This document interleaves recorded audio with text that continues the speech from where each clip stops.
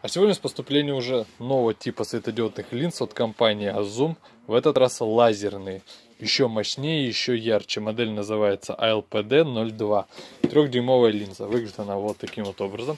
Очень близка по внешней части с обычной линзой светодиодной. Azum, например, какой-нибудь типа модель А3. Вы посмотрите даже по размеру примерно одинаково, только вот у самой лазерной у нее более увеличено само по себе охлаждение.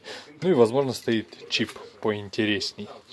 Светит, конечно же, они тоже круче, более ярко. Давайте подключим. Обратите внимание, что мы находимся в магазине при ярком свете, да еще и на улице яркое солнышко. Посмотрите, как только они светят. То есть это при включенном свете, четко.